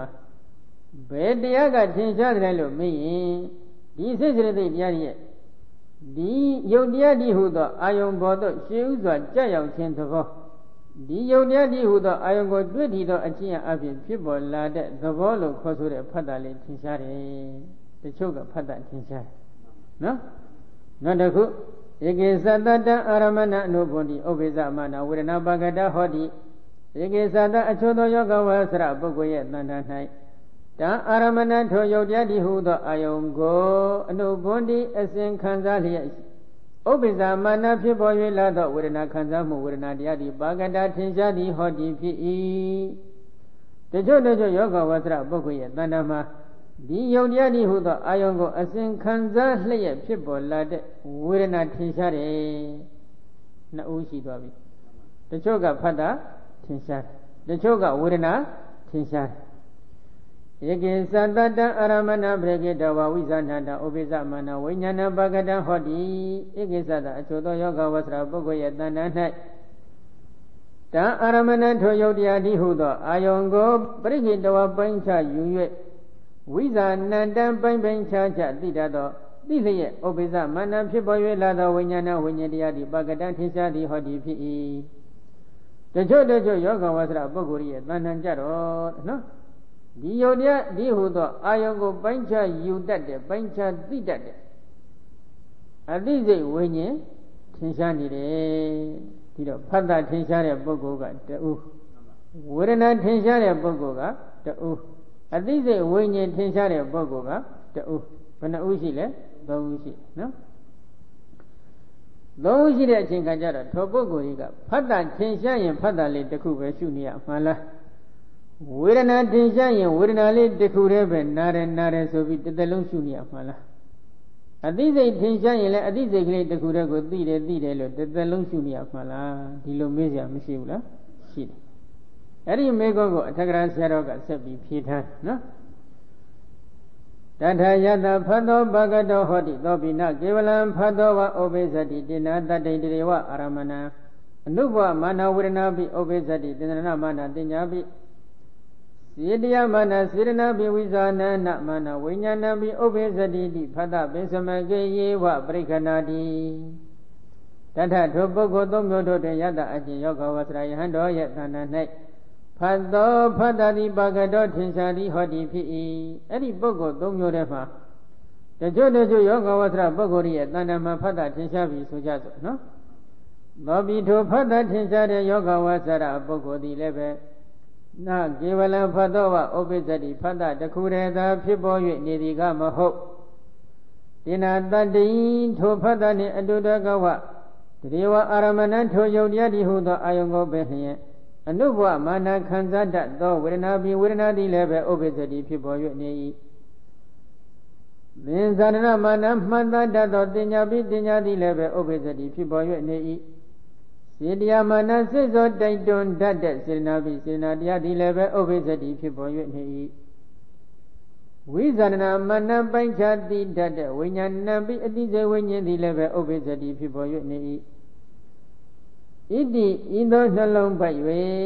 ဖတ်တပိစမကေယေဝဖတ်တလျင်ငါးခုမြောက်ရှိတဲ့ဖတ်တပိစမကတရားတို့ကိုပင်လျင်ပရိကနာတိညာဖြင့်ပိုင်းခြားယူ၏ ပုဂ္ဂိုလ်တို့မှဖတ်တာထင်ရှားပြီဆိုကြစို့နော်ထိုဖတ်တာထင်ရှားတဲ့ပုဂ္ဂိုလ်ကဘယ်လိုဆက်ပြီးလုပ်ငန်းခွင်ပြုလုပ်ရမလဲဒီဖတ်တာလေးဟာဖတ်တာတစ်ခုတည်းဖြစ်နေသေးတော့မဟုတ်ဟုတ်ကတော့ဒီဖတ်တာနဲ့အတူတကွဒီအာယုံရဲ့အရတာကိုယုတ်တရားဒီဟုသောအာယုံပေါ့မိမိရှုတာကယူပါယုံဖြစ်ရင်ယူပါယုံရဲ့အရတာတတ္တယုံဖြစ်ရင်တတ္တယုံရဲ့အရတာပေါ့နော်ဒီယုတ်တရားဒီဟုသောအာယုံမှာ အာယုံဤအရတာကိုခံစားနေတဲ့ဝေဒနာလည်းဖြစ်နေတယ်ဒီယုတ်တရားဒီဟုသောအာယုံကိုမှန်တတ်တဲ့ပညာလည်းဖြစ်နေတယ်ဒီယုံတရားဒီဟုသောအာယုံဘောသောစိတ်စိတ္တိတံပြုတ်ပြဒီကိုရောက်အောင်စိသောလှုံ့ဆော်ပိတတ်တဲ့စေတနာလည်းဖြစ်နေတယ်ဒီယုတ်တရားဒီဟုသောအာယုံကိုပိုင်းပိုင်းခြားခြားသိတတ်တဲ့အတိစိတ်ဝิญဉ်လည်းဖြစ်နေတယ်လို့ဒီလိုနှလုံးပိုက်ပြီးတော့ဖတ်တာလျင်၅ခုမြောက်ရှိတဲ့ဖတ်တာပင်စမကတရားတွေကိုပဲဉာဏ်နဲ့ပိုင်းခြားယူပါသိသိပါဖတ်တာ ဝေဒနာသင်ညာစေရနာဝိညာဉ်ဘယ်နှလုံးလဲ၅လုံးဘာကြောင့်ဒီ၅လုံးနဲ့ပြောနေရတယ်လဲပြီးတော့မှထပ်ရှင်းမယ်နော်ကဲနောက်တစ်ခုဒါကဖတ်တာထင်ရှားတဲ့ပုဂ္ဂိုလ်ဖတ်တာထင်ရှားတဲ့ပုဂ္ဂိုလ်ဒီဖတ်တာတစ်ခုတည်းရှုနေတာဟုတ်သလားမဟုတ်ဘူးကဲနောက်တစ်ခုဝေဒနာထင်ရှားပြီယတာဝေဒနာမင်္ဂတဟောတိသောနကေဝလဝေဒနာဝဥပိစ္ဆတိ တာယတတိဒိဋ္ဌိဝါရမဏဖုသမနောဖတ်တော်ပိဥပိစ္ဆတိသန္တနာမနာတင်ညာပိစေတယမာနစေရနာပိဝိဇရဏမာနဝိညာဏပိဥပိစ္ဆတိဒီဖတ်တပိစမကေယေဝပရိကနာတိယတအကျင့်ယောဂဝဆရပုဂ္ဂိုလ်ရဲ့တဏ္ဍာ၌ဝေဒနာခံစားမှုဝေဒနာတရားသည်ပါကတထင်ရှားသည်ဟောသည်ဖြစ်၏ပုဂ္ဂိုလ်တူကြည့်လိုက်တော့ခံစားချက်ကလေးကဝေဒနာကရှည်တန်းတက်နေတယ်နော်သူကထင်ရှားနေပြီ ဒီယုတ်တရားကိုလှမ်းအာယုံယူလိုက်ရင်ဒီယုတ်တရားနဲ့ပတ်သက်တဲ့ခံစားချက်ကလေးကရှည်တန်းမှာပြုကနေထွက်ပေါ်လာတယ်ဝေဒနာကထင်ရှားနေပြီထင်ရှားရင်ထိုပုဂ္ဂိုလ်ကအဲ့ဒီဝေဒနာလေးကိုနားတယ်နားတယ်လို့ပဲတစ်သက်လုံးထိုင်ပြီးတော့တစ်ချိန်လုံးထိုင်ပြီးတော့ရှုနေရမှာလားအဲ့ဒါဆက်ပြောမယ်သောနာကေဝလံဝေဒနာဝဥပ္ပစ္စတိတာယတတ္တိတိရိဝရမဏဖုသမနောဖတ်တော်ပြီဥပ္ပစ္စတိ သင်္သနာမာနတင်ညာပိစေရိယမာနစေရနာပိဝိဇရဏမာနဝိညာဏပိဥပ္ပစ္စတိဒီဖတ်တပစ္စမေကေယေဝပရိက္ခဏာတိသောတောဝေဒနာထင်ရှားတဲ့ယောဂဝဆရာပုဂ္ဂိုလ်သည်နကေဝလံဝေဒနာဝဥပ္ပစ္စတိဝေဒနာတစ်ခုတည်းသာလျှင်ဖြစ်ပေါ်၍နေသည်ကမဟုတ်ဒါယတတိထိုဝေဒနာနှင့်အတူတကွာဒီဝရမဏံထိုယုတ်တရားဒီဟုသောအာယုံကိုပင်လျင်ဖုဒ္ဓမန္တောတွေ့ထီသောအကျဉ်အဖြစ်ဖြစ်ပေါ်၍နေသော ဖတ်တော်ပြီဖတ်တာသည်လည်းပဲဥပ္ပစ္စတိဖြစ်ပေါ်၍နေ၏သင်္သနာမာနထိုအာယုံကိုမှတ်တတ်သောတင်ညာပိတင်ညာတရားသည်လည်းပဲဥပ္ပစ္စတိဖြစ်ပေါ်၍နေ၏စေတရားမာနထိုအာယုံဘောသို့ရှင်မေစိတ်စေတသိက်တရားတွေကိုရောက်အောင်သိသောပိဋ္ဌသောစေရနာပိစေရနာတရားသည်လည်းပဲဥပ္ပစ္စတိဖြစ်ပေါ်၍နေ၏ဝိဇာဏမနထိုအာယုံကိုပိုင်းခြားသိတတ်သောဝိညာဏံပိအတိစေဝိညာဉ်တရားသည်လည်းပဲဥပ္ပစ္စတိတိဖြစ်ပေါ်၍နေ၏ဟု ဣတိဤသောနှလုံးပိုက်၍ဖတ်တပိစမကေယေဝဖတ်တလင်ငါကုမြောက်ရှိတဲ့ဖတ်တပိစမကတရားတို့ကိုပင်လျှင်ပရိက္ခဏတိဉာဏ်ဖြင့်ပိုင်းခြားယူ၏ဝေဒနာခံစားမှုထင်ရှားရင်လည်းဒီဝေဒနာဟာဝေဒနာတစ်ခုတည်းဖြစ်နေတာတော့မဟုတ်ဘူးဒီဝေဒနာနဲ့အတူတကွဒီအာယုံကိုတွေ့ထီတော့အကျဉ်းအဖြစ်ဖြစ်နေတဲ့ဖတ်တာလည်းဖြစ်နေတယ်ဒီအာယုံကိုမှတ်တတ်တဲ့ပညာလည်းဖြစ်နေတယ် ဒီအာယုံဘောတော့ရှင်းဘက်စိတ်စိတ္တိတံပြုတ်တရားတွေကိုရအောင်လှုံ့ဆော်ပေးတတ်တဲ့စေတနာလည်းဖြစ်နေတယ်ဒီအာယုံကိုပိုင်းခြားသိတတ်တဲ့အတိစိတ်ဝิญဉ်လည်းဖြစ်နေတယ်လို့ဒီလိုနှလုံးပိုက်ပြီးတော့ဖတ်တာဝေဒနာပညာစေရနာဝိညာဉ်လို့ခေါ်ဆိုအပ်တဲ့ဖတ်တာလျင်၅ခုမြောက်ရှိတယ်ဖတ်တာပိစမကတရားတွေကိုပဲဆက်လက်သိသိပါနော်ကဲနောက်တစ်ခုအသိစိတ်ထင်ရှားတဲ့ပုဂ္ဂိုလ်နော် ယတဝိညာဏပကတဟောတိယတအချင်းယောဂဝဆရာပုဂ္ဂိုလ်ယတတတဲ့ဝိညာဏအသိစိတ်ဝိညာဉ်တရားဒီပကတထင်ရှားလာသည်ဟောတိဖြစ်၏ပုဂ္ဂိုလ်တို့ကြည့်လိုက်တော့သူကအသိစိတ်ဝိညာဉ်ထင်ရှားနေပြီထင်ရှားရင်ဒီအတိစိတ်ဝိညာဉ်လေးတခုကိုပဲသိတယ်သိတယ်သိတယ်လို့ဒီလိုတစ်သက်လုံးထိုင်ရှုနေရမှာဟုတ်သလားအဲ့ဒီအချက်ကိုဒီမှာဖြေနေတယ်နော်ယတဝိညာဏပကတဟောတိသောနကေဝလဝိညာဏမေဝဥပိစ္ဆတိ ဒီနတတိဒီတိဝရမဏဖုဒ္ဓမနောဖတ်တော်ပိဥပိစ္ဆတိအနုပမနာဝေဒနာပိသင်္သနမနာတင်ညာပိစေရိယမနာစေရနာပိဥပိစ္ဆတိတိဖတ်အပိစမကေယေဝပရိကနာတိယတအကျဉ်ယောဂဝဇရပုဂ္ဂိုလ်ရဲ့တဏ္ဍာ၌ဝိညာဏအတိစိတ်ဝိညာဉ်တရားဒီပကတံထင်ရှားလာသည်ဟောဒီဖြစ်၏သောတောအတိစိတ်ဝိညာဉ်ထင်ရှားနေတဲ့ယောဂဝဇရပုဂ္ဂိုလ်သည် နကေဝလံဝိညာဏမြေဝဥပ္ပဇ္ဇတိအတိစိတ်ဝိညာဉ်တစ်ခုတည်းသာဖြစ်ပေါ်၍နေသည်ကမဟုတ်ဒေနာတတိထိုအတိစိတ်ဝိညာဉ်နှင့်အတူတကွတေဝရမဏထိုယုတ်တရားဒီဟုသောအာယုံကိုပင်လျင်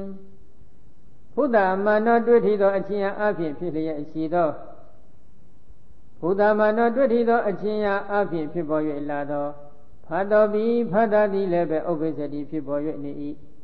အနုဘမာနထိုယုတ်တရားဒီဟုသောအာယုံဤအယတာကိုခံစားတတ်သောဝေဒနာပြီးဝေဒနာတရားသည်လည်းပဲဥပ္ပဇ္ဇတိဖြစ်ပေါ်၍နေ၏ပင်စရဏမာနထိုယုတ်တရားသည်ဟူသောအာယုံကိုမှတ်သားတတ်သောပညာပြီးပညာတရားသည်လည်းပဲဥပ္ပဇ္ဇတိဖြစ်ပေါ်၍နေ၏စေတရားမာနထိုယုတ်တရားသည်ဟူသောအာယုံဘောသို့ရှင်မေစိတ်စတတိတံပြောတရားတို့ကိုရောက်အောင်လှုံ့ဆော်၍ပိတ္တသော စေရနာပြီးစေရနာတရားသည်လည်းပဲဥပ္ပဇ္ဇတိဖြစ်ပေါ်၍နေ၏ဣတိဤသောနှလုံးပတ်၍ဖတ်တပိစမကေယေဝဖတ်တလျင်ငါကုမြောက်ရှိသောဖတ်တပိစမကတရားတော်ကိုပင်လျက်ပရိက္ခဏတိညာဖြင့်ပိုင်းခြားယူ၏ဘာပြောတယ်အသိစိတ်ဝိညာဉ်ထင်ရှားတဲ့ပုဂ္ဂိုလ်ကလည်းဒီအသိစိတ်ဝိညာဉ်ဟာအသိစိတ်ဝိညာဉ်တစ်လုံးနဲ့ဖြစ်နေတာတော့မဟုတ်ဘူးဒီအသိစိတ်ဝိညာဉ်နဲ့အတူတကွ ဒီအာယုံကိုတွေ့ထီတော့အကျဉ်းအဖြစ်ဖြစ်ပေါ်နေတဲ့ဖတ်တာလည်းဖြစ်နေတယ်ဒီအာယုံရဲ့အရသာကိုခံစားတတ်တဲ့ဝေဒနာလည်းဖြစ်နေတယ်ဒီအာယုံကိုမှတ်တတ်တဲ့ပညာလည်းဖြစ်နေတယ်ဒီအာယုံဘောတော့ရှင်းမဲ့စိတ်စရတိတရားနဲ့စိတ်စရတိတံပြုတ်တရားတွေကိုရောက်အောင်စိတ်ဆုံးပိတ္တလှုပ်ဆော်ပိတ္တတဲ့စေတနာလည်းဖြစ်နေတယ်လို့ဒီလိုနှလုံးပိုက်ပြီးတော့ဖတ်တာဝေဒနာပညာစေရနာဝိညာဉ်ခေါ်တဲ့ ဖတ်တာလည်းငါးခုမြောက်ရှိတယ်ဖတ်တာပိစမကတရားတို့ကိုပဲဆက်လက်သိသိပါလို့ဒီလိုညွှန်ကြားထားတယ်နော်စိတ်နဲ့စေတသိက်တို့ရဲ့ဓမ္မတာတစ်ခုရှိတယ်အသိစိတ်ဒီစေတသိက်မပါပဲဖြစ်လို့မရဘူးစေတသိက်တို့မြည်ဒီမှာလည်းအသိစိတ်မပါပဲဖြစ်လို့မရဘူးအ ਨੇ ဆုံးအဖြစ်စိတ်တခဏတစ်ခုလို့ခေါ်ဆိုအပ်တဲ့စိတ်တစိတ်ဖြစ်တည်ပြက်စိတ်တခဏလေးတစ်ချက်အတွင်းမှာအ ਨੇ ဆုံးရှင်တွဲပြီးဖြစ်ပေါ်သွားတဲ့နန္တရားရှိခုရှိတယ် အသိစိတ်ဖာတာဝေဒနာပညာစေရနာဧကကတဇီဝိတမနတိကာရဆိုပြီးရှစ်လုံးရှိတယ်အဲ့ဒီရှစ်လုံးတဲ့ပိုနေတဲ့စိတ်တခဏတခုမှသာသနာတော်မှာမရှိဘူးများတဲ့စိတ်တခဏတွေတော့ရှိတယ်တချို့တချို့ဇောတို့မှာဆိုရင်34လုံးအထိရှိတတ်တယ်ကရုဏာဇောတို့မုဒိတာဇောတို့ဖြစ်ခဲ့ရင်35လုံးအထိရှိတတ်ပါတယ်နော်အဲ့တော့ အဲ့ဒီစိတ်စိတ္တိတရားတွေကအုပ်စုလိုက်တာဖြစ်တော့အုပ်စုအလိုက်ဖြစ်နေတဲ့ဒီစိတ်စေတသိက်တရားတွေကိုမြင်အောင်ဆက်လက်ပြီးရှုဖို့လိုနေတယ်။ဒါပေမဲ့အဲ့ဒီအုပ်စုစေတသိက်အုပ်စုအလိုက်ဖြစ်တဲ့ဒီစိတ်စေတသိက်တရားတွေထဲမှာခုဖတ်တာပင်စမကတရား၅ခုကိုသာလင်ဗရဏာထပြီးတော့အတ္တကရာဆရာတော်တို့ကဖွင့်ဆိုတော်မူခြင်းသည်ဘာကြီးရွယ်ချက်ရှိလဲဒီစိတ်စေတသိက်တွေကိုဂုံစင်အောင်ရှုရမယ်ဆိုလို့ရှိရင်ဂုံစင်အောင်ဘာကြောင့်မဖွင့်တယ်လို့မေးရင်တော့ အတ္တကရာဆရာတော်တို့မှကြီးရွယ်ချက်ကလေးတွေရှိနော်ဒီရွယ်ချက်ကလေးတွေကပါဠိတော်ကိုလှမ်းမြော်ကြည့်ပြီးတော့မှဒီလိုဖွင့်နေခြင်းဖြစ်တယ်။အဲဒီဖွင့်ပုံနဲ့ပတ်သက်ပြီးတော့မူလဗန္ဒတဒီကပထမတွဲသမဏ380မှာရှင်းလင်းတင်ပြထားပါတယ်နော်။ဧဝံတတတတိဝပကတဘာဝေပိသဗ္ဗံဘေခဝေအဘိညေယန္တိသဗ္ဗေသခောဘိကွေအပိသနန္တိသဧဝမာတိဝဆနတော သဗ္ဗေသမတနုဘဂဓမ္မပရိကေတပတိတတ္တင်တောတထယတ္တိအာတိမဟာဟောပုဂ္ဂိုလ်ဒီမှာဖတ်တာထင်ရှားတဲ့ပုဂ္ဂိုလ်ရှိတယ်ဝေဒနာထင်ရှားတဲ့ပုဂ္ဂိုလ်ရှိတယ်အသိစိတ်ဝိညာဉ်ထင်ရှားတဲ့ပုဂ္ဂိုလ်ရှိတယ်မှန်တယ်နော်ဒါပေမဲ့လို့ဘုရားရှင်ကိုရောရင်ကသဗ္ဗံဘိခဝေအဘိညိယံဟိုအင်္ဂုတ္တပါဠိတော်နော်တန်ရုပ်ပါဠိတော်တန်ရုပ်ပါဠိတော်ဒုတိယတွဲ သာမျက်နှာ258မှာနော်သဗ္ဗံဘိခဝေအဘိညိယံညာနဲ့ထွန်းထွန်းထိုးထွန်းသိရမယ်တရားအကုန်လုံးကိုသိရမယ်လို့ဒီလိုဘုရားဟောထားတယ်နော်သဗ္ဗင်္ဇာခောဘိခဝေအဘိဇာနံခုနကအဘိဇရဏသုတ်တံသံမျက်နှာ250တန်ရုပ်ပါဠိတော်ဒုတိယအတွဲနော်သဗ္ဗံဇာခောဘိခဝေအဘိဇာနံပရိဇာနဝိရာဇယံပဇဟံဘဘောဒုက္ခခရာယ အလုံးစုံသောယုတ်တိနန္ဒီကိုညာတပရိညာတိရဏပရိညာဝဟာနပရိညာခေါ်တဲ့ပရိညာပညာသုံးမျိုးဖြင့်ပိုင်းခြားသိခဲ့ရင်ဒုက္ခကုန်မယ်လို့ဒီလိုဘုရားဟောထားတယ်။အဲ့ဒီဟောကြားတော်မူချက်အရာသဗ္ဗေသမ္မာတနုပကဓမ္မပရိကိတပါအနိစ္စဒုက္ခအနတ္တလက္ခဏာရဲ့သုံးတန်တင်္ကာရှုပါသုံးတန်ထိုက်တဲ့တရားတွေကိုသမ္မတနုပကဓမ္မလို့ခေါ်ပါတယ်။ အဲ့ဒီသမ္မတနုဘကဓမ္မလို့ခေါ်ဆိုအပ်တဲ့အလုံးစုံသောယုတ်တိနန္ဒီကိုသိသိပါလို့ဒီလိုအထက်ကရာဆရာတော်ကညွှန်ပြလိုတယ်နော်ညွှန်ပြလိုတဲ့အတွက်ခုနကဖတ်တာပင်စမကတရားတွေကိုသိသိပါဆိုပြီးဆက်လက်ပြောနေတာဒါပေမဲ့လို့အဲ့ဒီဖတ်တပိစမကေယေဝတိအဝဒရဏတရံတောကတတတက်ကိနေနေဝကိတတသရုံနာအရုပခန္ဓာနံ ဖတ်တပိစမကတရားတွေကိုပဲသိကြည့်ပါဆိုပြီးသာလျင်ဖတ်တပိစမကတရားတွေကိုသာလျင်ဆိုပြီးသာလျင်လေးထည့်ပြီးတော့ဘာကြောင့်ဖွင့်နေရတယ်လို့မေးရင်ကြံနေတဲ့နန္တရားနံခန္ဓာ၄ပါးကဒီဖတ်တပိစမကတရားတွေမှာပဲအကျုံးဝင်သွားတယ်ဒီဖတ်တပိစမကတရား၅ခုကိုယူလိုက်ရင်လည်းအလုံးယူထားပြီးဖြစ်နေတယ်ဒါကြောင့်ဒီဖတ်တပိစမကတရား၅ခုကိုသာအထက်ကရာဆရာတော်ကဖွင့်နေခြင်းဖြစ်တယ်နော် ဖတ်တပစ္စမကဂဟဏဟိတတ္တတပ္ပစိတ်တုပ္ပါဒသာရဏဘာဝတောဖတ်တပစ္စမကတရားတွေကိုအမည်နာမတက်ယူပြီးတော့အထက်ကရာဆရာတော်ကဖွင့်ဆိုတော်မူခြင်းသည်နော်တတ္တတပ္ပစိတ်တုပ္ပါဒသာရဏဘာဝတောဒီဖတ်တပစ္စမကတရား၅ခုဆိုတာစိတ်တုပ္ပအလုံးနဲ့ဆက်ဆံနေတဲ့အတွက်ကြောင့်ဖွင့်ဆိုခြင်းဖြစ်တယ်စိတ်ဖြစ်တိုင်းဖြစ်တိုင်းဒီ၅လုံးပါတယ်ဒီ၅လုံးမပါတဲ့စိတ်ဆိုတာတခုမှမရှိဘူး စေတသိက်ဖြစ်တိုင်းဖြစ်တိုင်းဒီငါလုံးပါတယ်ဒီငါလုံးမပါတဲ့စေတသိက်အုပ်စုဆိုတာမရှိဘူးနော်ထထသဖတ်တစေရနဲ့ကန္ဒီနသဗ္ဗသင်္ခါရဓမ္မသဗ္ဗသင်္ခါရခန္ဓာဓမ္မသင်္ကဟောစေရနာဗရဏတတေတံဖတ်တစေရနာဖတ်တဝေဒနာပညာစေရနာဝိညာဉ်အဲ့ဒီမှာဝိညာဉ်ကဝိညာဉ်နဲ့ခန္ဓာအသိစိတ်နော် ဝေဒနာကဝေဒနာခန္ဓာသင်ညာကသင်ညာခန္ဓာဖတ်တာနဲ့စေရနာကသင်္ခါရခန္ဓာအဲ့ဒီသင်္ခါရခန္ဓာစီးရင်ထဲမှာဖတ်တာနဲ့စေရနာကိုယူလိုက်ရင်နော်ဘာဖြစ်လဲတတ္တသဖတ်တာစေရနာကဏိနသဗ္ဗသင်္ခါရခန္ဓာဓမ္မသင်္ကဟောစေရနာဗရဏတတေတံဖတ်တာနဲ့စေရနာကိုယူလိုက်ရင်သင်္ခါရခန္ဓာစီးရင်ဝင်စေတသိက်အကုန်လုံးကိုပဲယူရတယ်ဘာကြောင့်လဲသင်္ခါရခန္ဓာစီးရင်ဝင်စေတသိက်တွေထဲမှာစေရနာကပြတ်ထန်းနေတယ် သို့သောဒီပိုင်းလေးတွေကတော့လက်တွေရှုနေတဲ့ယောဂီတော့ဖို့အဘိဓမ္မာသင်မှုတဲ့ယောဂီမှာတော့နည်းနည်းသဘောပိုပေါက်နော်ဒါကြောင့်ဒီနေရာမှာ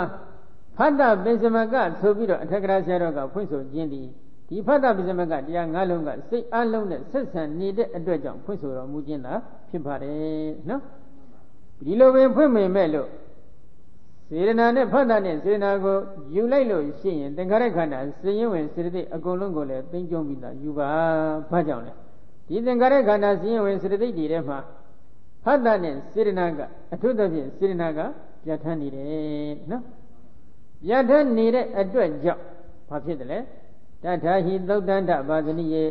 သင်္ခါရခန္ဓာဝိပင်ကေသကုတံပတ္တသစေရနာတိအာတိနာစေရနာဝဝိပတ္တာ ဣတိပါဏခန္ဓာသူပေနေဝဝိဟိတာတထာယိထိုကြောင့်ပင်လင်းသုတ်တတဘာသနိယေသုတ်တတဘာသနိယဤဖြစ်သောသင်္ခါရခန္ဓာဝိပင်ကေသင်္ခါရခန္ဓာဝိပင်ပါဠိတော်၌သကုတံပါတဇာစေရနာတိအာဒီနာသကုတံပါတဇာစေရနာဤသို့စသောဤဖြင့်စေရနာဝစေရနာတခုတည်းကိုသာလျှင်ဝိပတ္တဝေဘံခွဲခြား၍ဟောကြားတော်မူအပ်ပေ၏ဣတိရေပါဏခန္ဓာတခြားခန္ဓာတို့ကိုကသူပေနေဝ တယုတ်အဖြင့်တန်လျင်ဝတယုတ်ထုတ်၍တန်လျင်ဂီတာဟောကြားတော်မူအပ်ပေ၏ဘုရားရှင်ကိုယ်တော်တိုင်ကသုတ်တန်ဤအဖြင့်သင်္ခါရခန္ဓာကိုဝေဖန်ဟောကြားတော်မူတဲ့အပိုင်းမှာသက္ကုသံဖတ်သဇာစေရနာစသည်ဖြင့်စေရနာတစ်ခုတည်းကိုသာလေပရဏာထပြီးဝေဖန်ဟောကြားတော်မူတယ်နော်သင်္ခါရခန္ဓာမှာတပတ်ကြံနေတဲ့ရူပခန္ဓာဝိရณะခန္ဓာပင်ညက်ခန္ဓာ ဝိညာဉ်နဲ့ခန္ဓာခေါ်တဲ့ဒီခန္ဓာ၄ပါးကြတော့သယုတ်ထုတ်ပြီးတလုံးစီတလုံးစီခွဲခြားစိတ်ပြပြီးဟောသွားတယ်သင်္ခါရခန္ဓာကြတော့သင်္ခါရခန္ဓာစီရင်ဝင်စေတသိက်အလုံး90ရှိပါတယ်အဲ့ဒီအလုံး90ကိုကုံစင်အောင်တလုံးစီတလုံးစီမဟောပဲ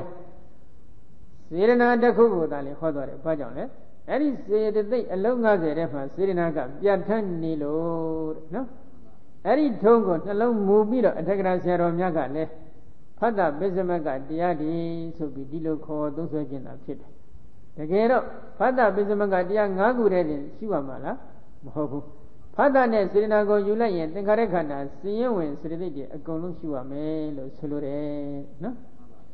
ဒါကြောင့်ဥစဉ်တို့ဒီရှင်းလင်းချက်များအရာပေါ့စိတ်တဲ့ခဏတိုင်းစိတ်တဲ့ခဏတိုင်းမှာရှင်ဘက်စိတ်စေတသိက်တွေကိုတော့အာရဏဒွါရအလိုက်ဖြစ်ပေါ်သွားတဲ့ရှင်ဘက်စိတ်စေတသိက်အကုန်လုံးကိုတော့ရှိရမယ်လို့ဒီလိုမှတ်ထားပါနော် ဒီတော့စိတ်စိတ္တိတွေကုံစင်အောင်ရှုပြီးပြီဘယ်စိတ်စိတ္တိလဲလို့ပြီးတော့ယုတ်တရားကိုအာယုံယူပြီးဖြစ်ပေါ်နေတဲ့စိတ်စိတ္တိနော်နန္တရားတွေယုတ်တရားကိုအာယုံယူပြီးဖြစ်ပေါ်တဲ့နံတရားတွေကိုရှုပြီးပြီဆိုတော့ဒီနံတရားကိုမရှုမီကထိုယောဂီသူတော်ကောင်းသည်ဘာလုပ်နေတယ်လဲယုတ်တရားကိုရှုထားပြီးဖြစ်နေတယ်ယုတ်တရားကိုရှုပြီးမှဒီယုတ်တရားကိုအာယုံယူပြီးဖြစ်ပေါ်တဲ့နံတရားကိုတဖန်ဆက်လက်ပြီးသိသိနေခြင်းရှုနေခြင်းဖြစ်တယ် အဲဒီလိုနံတရားတွေကိုတဆင့်တက်သိသိပြီးတဲ့အချိန်ခါမှာထိုယောဂီသူတော်ကောင်းကရှစ်တဆင့်တက်ပြီးဘယ်လုံငန်းခွင့်ပြုလုပ်ရမလဲရုပ်လည်းသိသိပြီးပြီနံလည်းသိသိပြီးပြီနံသိသိပြီးတဲ့ထိုယောဂီသူတော်ကောင်းကရှစ်တဆင့်တက်ပြီးပြုလုပ်ရမယ်ပြုကျင့်ရမယ်လိုက်နာရမယ်ကျင့်စဉ်ကိုအထက်ကရာဆရာတော်ကဘယ်လိုဆက်ဟုတ်ဖွင့်လဲသောဣမေဖတပစ္စမကဓမ္မဂိနေတိဓာတိဥပဒါရင်တော်ဥထုံနေတိဓာတိပဇာနာတိဟော သောတောယောဂဝဆရယဟန်တော်သည်ဣမေဖတပစ္စမကဓမ္မဤဖတလည်းငါးခုမြောင်ရှိတဲ့ဖတပစ္စမကတရားတို့သည်ဂိနေတိဓာတိအဘကိုမှီ၍ဖြစ်ပေါ်နေကြကုန်သနည်းဟုဥပါဒါရင်တော်ဉာဏ်ဖြင့်စုစံဆင်ញင်လက်သည်ရှိသောဝုထုံနေတိတာတိဝတ္ထုရောက်ကိုမိတွယ်ဖြစ်ပေါ်နေကြ၏ဟု၍ပါဇာနာတိကိုယ်ခွဲပြပြသိလေ၏ တပတ်ပြန်ကြော့လာပြီနော်ဒီဖတ်တာပိစမကတရားတွေဟာဘာကိုမိဖြစ်နေတယ်လို့ညာနဲ့စူးစမ်းဆင်ခြင်ပြီးလိုက်ကြည့်လိုက်တဲ့အချိန်ခါကျတော့ဝိတုယောကိုမိတွယ်ပြီးဖြစ်ပေါ်နေတာတွေ့တွေ့တယ်နော်ဒါဖြင့်ဝိတုဆိုတာကဘာလဲဝိတုနာမကရဇကာယောဝိတုနာမဝိတုမြည်တိကကရဇကာယောကရဇကာယတိဝိတုဝိတုဆိုတာတခြားဟာမဟုတ်ဘူးကရဇကာယကိုပြောတာ ယံတန္တရာဟုတ်တံဣတိသမေဝိညာဏဣဋ္ဌတိတံဣဋ္ဌပฏิပါဒံတိဟောကရဇကာယကိုခေါ်တယ်ဆိုတော့ဘယ်လိုကြောင့်သိနိုင်လဲဆိုတော့ဘုရားဟောထားပါတယ်နော်ဘယ်လိုဘုရားဟောလဲယံရင်ကရဇကာယယုတ်ကိုတန္တရာရည်တော်ရည်ရွယ်တော်မူ၍မင်္ဂဤဣတိသဝိညာဏဤဝိညာဉ်သည်လည်းပဲဣဋ္ဌဤကရဇကာယ၌သိတံမြွေနေ၏ဣဋ္ဌဤကရဇကာယ၌ပฏิပါဒံဆက်ဆံ၍နေ၏ဣတိဤသို့ ဘုဒ္ဓံဖျားရှင်ဟောကြားတော်မူအပ်ပေ၏